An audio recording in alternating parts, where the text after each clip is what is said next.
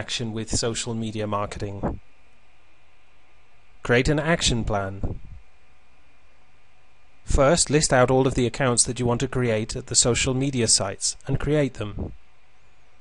Second, find and join relevant groups in your niche. Third, find and add friends. Fourth, participate and interact. Make sure that your participation is interesting, opinionated, and even at times controversial. Don't try to be somebody else. Be real. Be yourself. That way, people will relate to you and they will start to like you and follow you. It's so important to build the relationships first before you start to sell. And don't try to hard sell people. Just include calls to action. Share plenty of good quality information, even give things away for free. Build your brand and promote yourself and your products.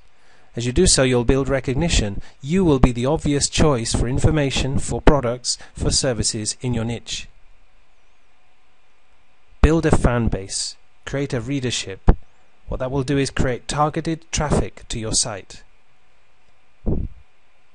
Aim for quality and quantity.